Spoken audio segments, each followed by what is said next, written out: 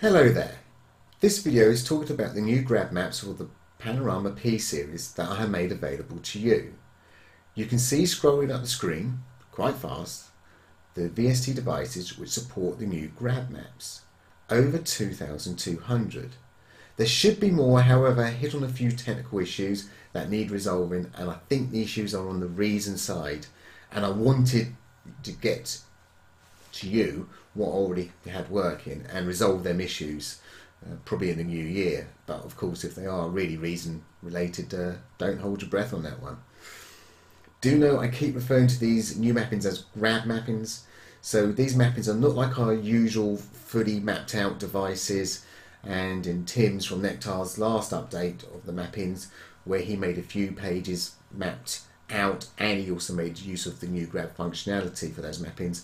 My new mappings don't have anything mapped. Why? Well, as I said, there's over 2,200 maps and it would take years to start even mapping out a few pages per map.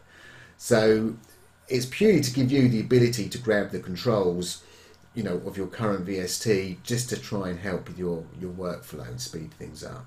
I've also limited um, my mappings to the first thousand parameters or controls per device you know, to be fair, most devices are well below the 200 parameters, and some only just have one or two uh, parameters to grab.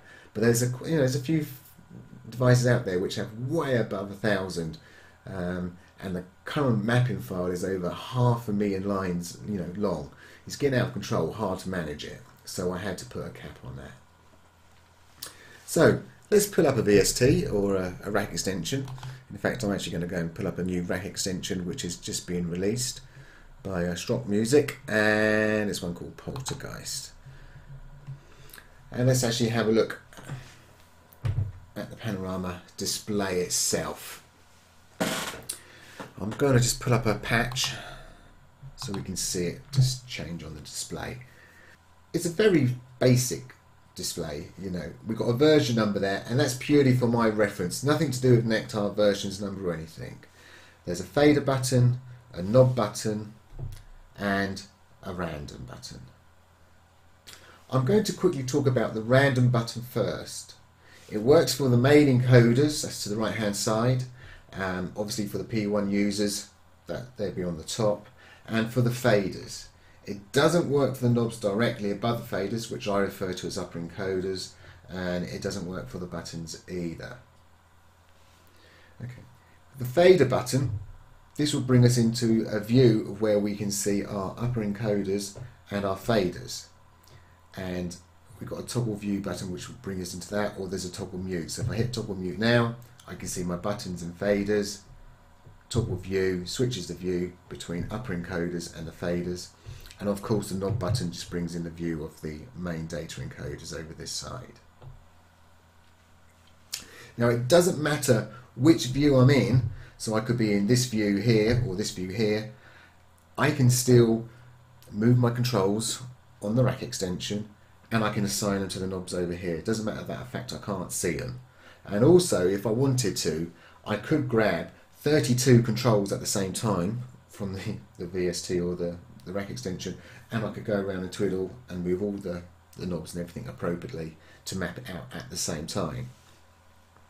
So let's go ahead and if you haven't ever done the, the grab functionality, it's very straightforward. You just hold down your shift key on the on the panorama and you just twiddle a couple of knobs on your rack extension, let go, twiddle a couple of knobs, and I'm just going to change my fader view so we can actually see them. So now you can see I've now got control of the cutoff and the reso over there. Um,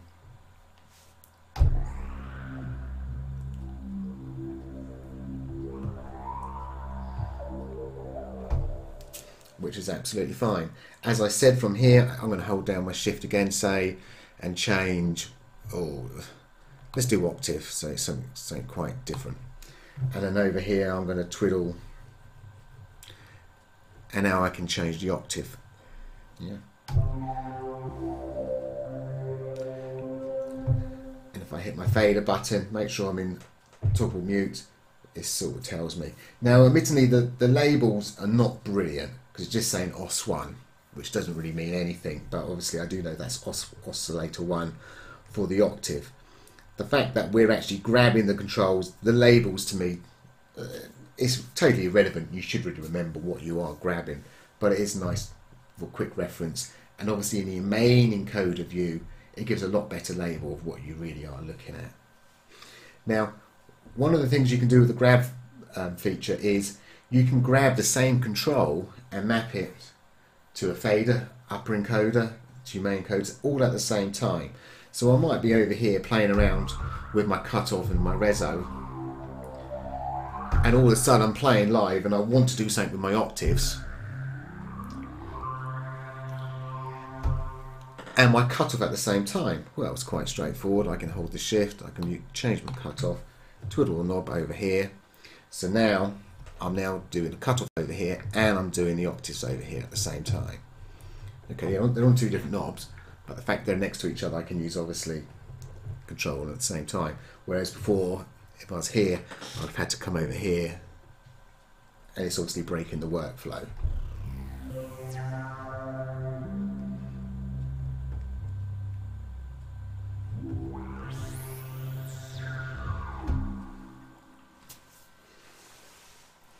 Let's just very, very quickly pull up a, a VST.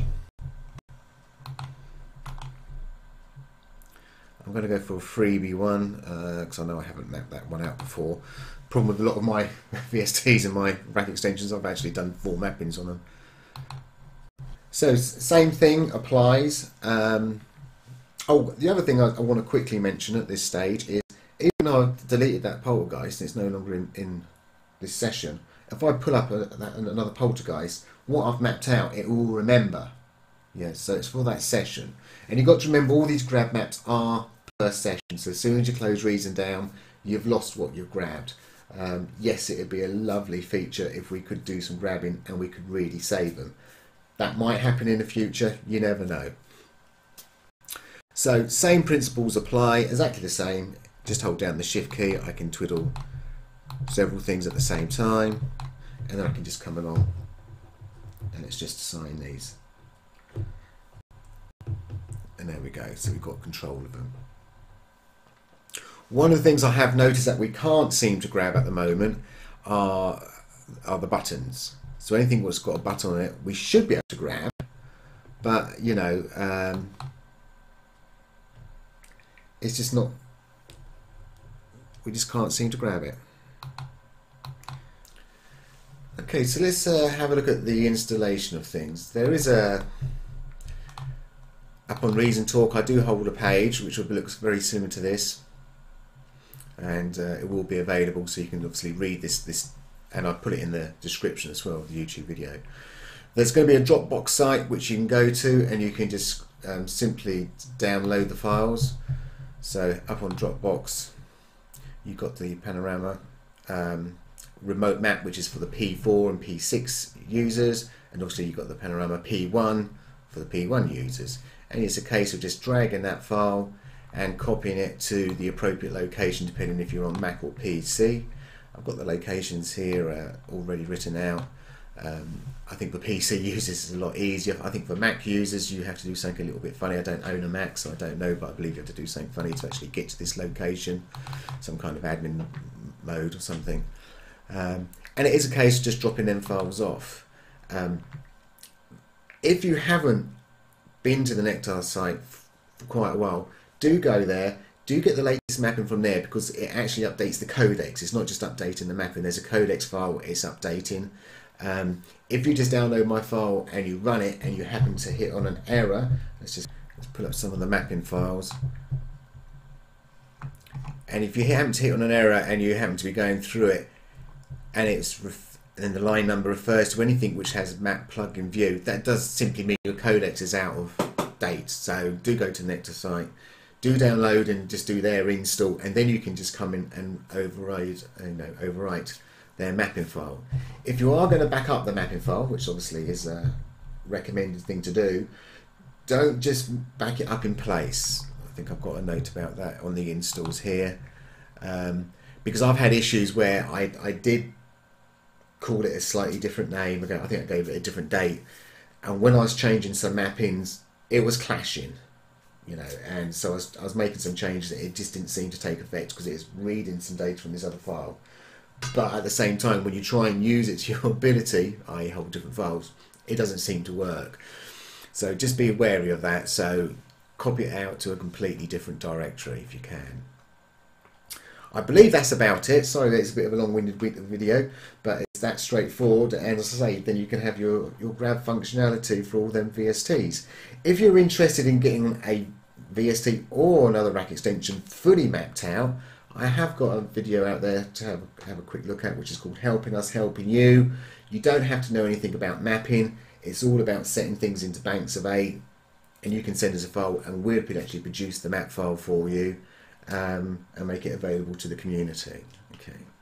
Okay, well, thank you very much for watching. Bye for now.